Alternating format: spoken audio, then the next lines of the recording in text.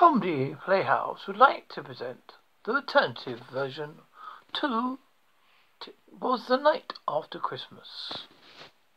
it was the night after Christmas, and all for the house, not a creature was stirring except for a mouse.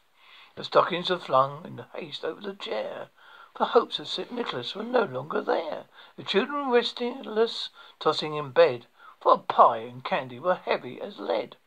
The mamma in her handkerchief, I in my gown, had just decided we would not lie down. When out on the lawn there arose such a clatter, I sprang from my chair to see what was the matter. Away and to the window I went for a dash with a dash. I opened a shutter and threw up the sash. A moon and the breast of new fallen snow gave lustre of noonday to objects below.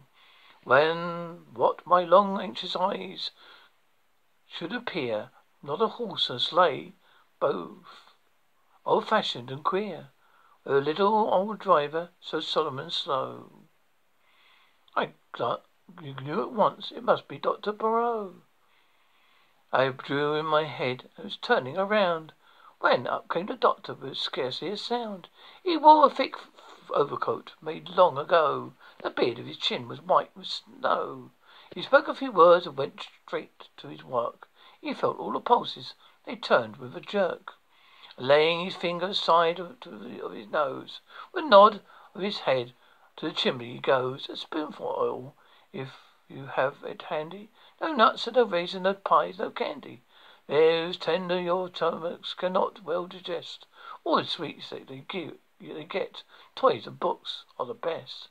I know my vice will not find many friends. The custom of Christmas the other way tends. Our fathers and mothers and Santa Claus too are seemingly blind. Well, good night to you. I heard him exclaim. He drove out of sight.